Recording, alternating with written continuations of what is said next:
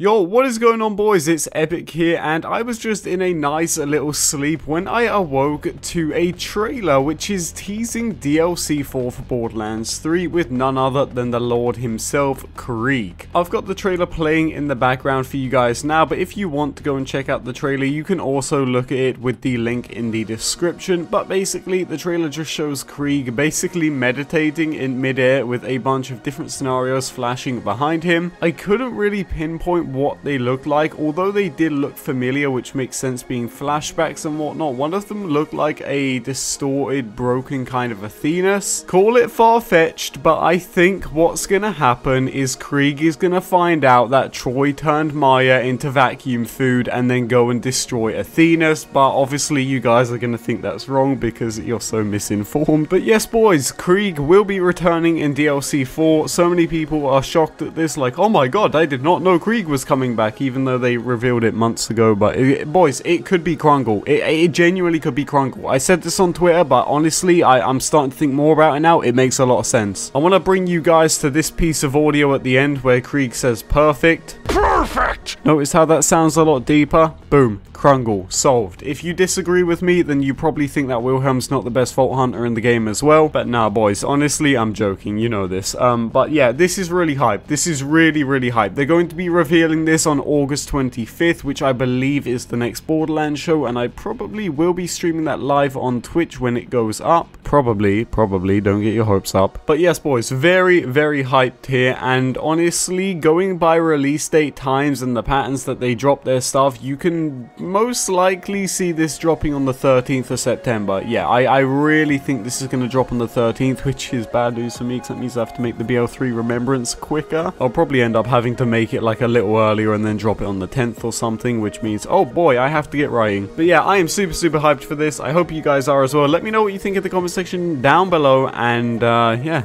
on that note, um, hope you guys have a, a nice day. I love you. I miss you. I'm only kidding, guys. Take it easy.